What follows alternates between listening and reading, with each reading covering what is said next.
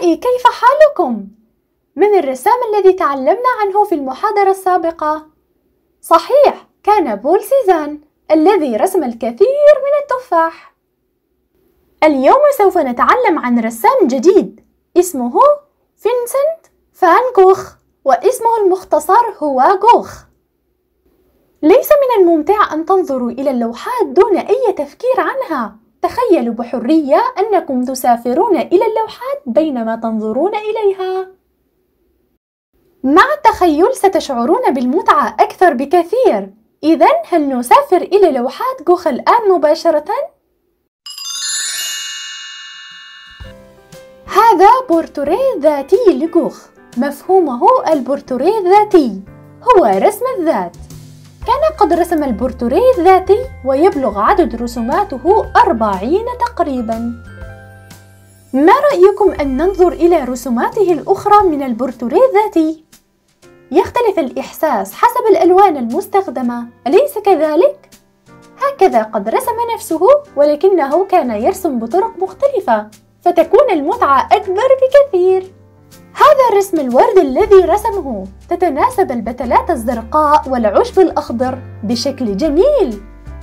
قد رسم الكثير من الورود المتنوعة غيرها أيضا. واو! إنها جميلة جدا. إحساس الورود الموجودة في اليسار واليمين مختلف. كان يحب اللون الأصفر جدا. وكان يسكن في بيت أصفر أيضا. ربما لهذا كان يحب عباد الشمس أيضا. في النهاية سنرسم هذا الورد معا وسنلونه مثل بوخ سيكون ممتعا أليس كذلك؟ إذا هل نرسمه؟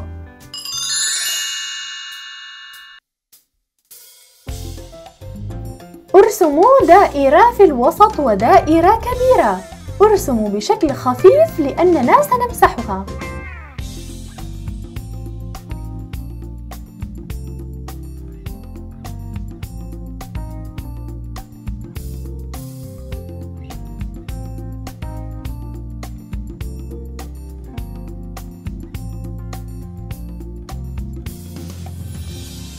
نرسم ثلاث دوائر هكذا ونرسم الجذع في الوسط.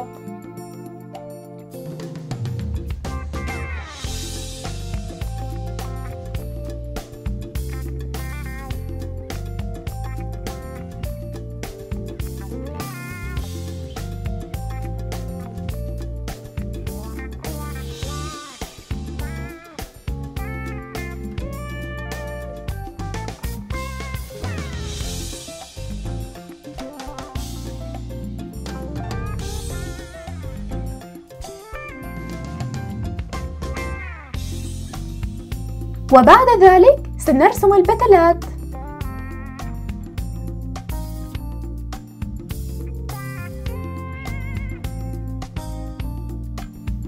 نرسم البتلات هكذا لتلمس أطراف البتلات الدائرة الكبيرة.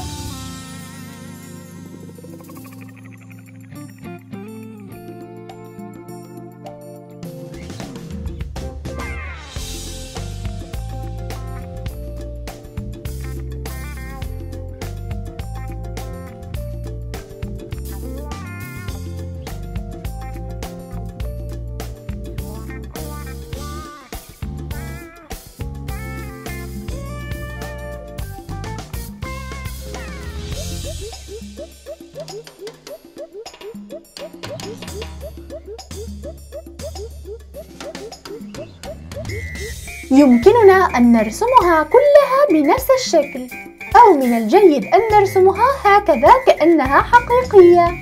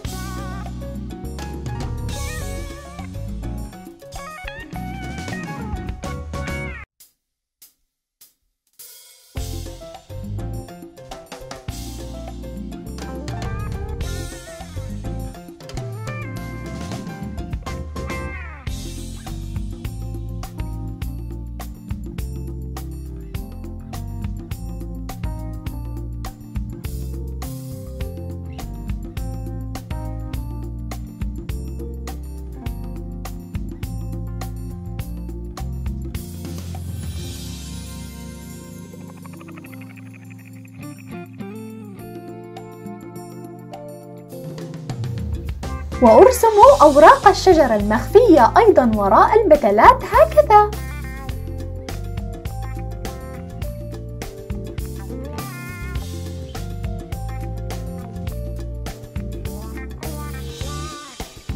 وإذا كان صعب عليكم أن تفرقوا بين البتلات وأوراق الشجر من الجيد أن نرسم شكل أوراق الشجر هكذا.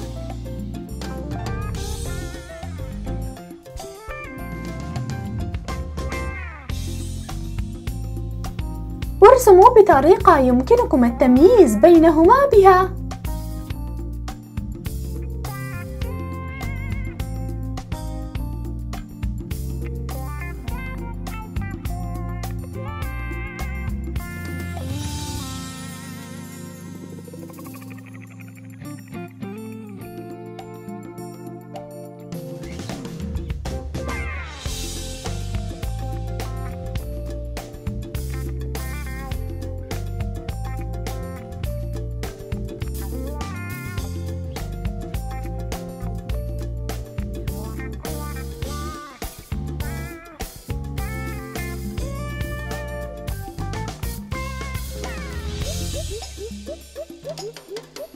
والآن نلون.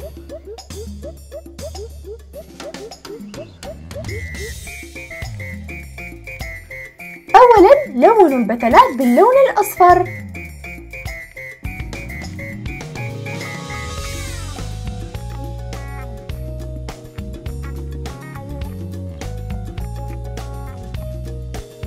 إذا كنتم لا تريدون لونا غير مهندم بخلط اللون مع القلم الرصاص.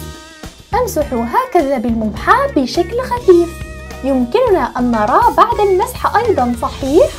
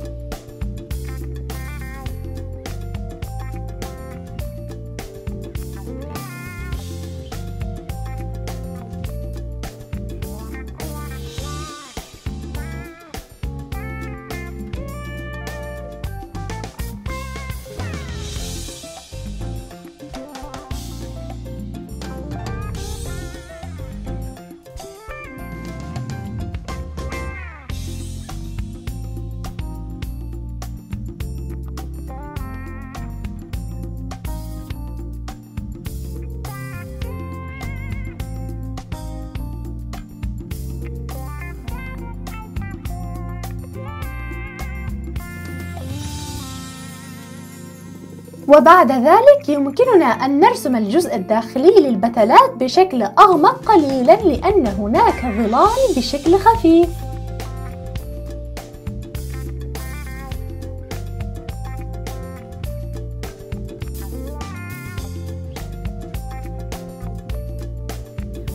نرسم هكذا بشكل غامق إلى حد ما بهذه الطريقة.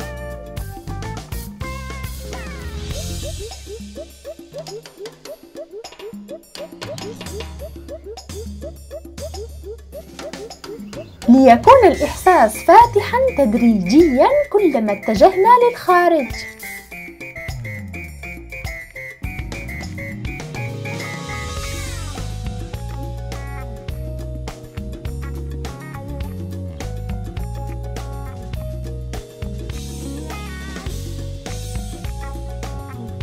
وهنا بالوسط ترسم بطريقة التنقيط ليبدو أنه عباد الشمس.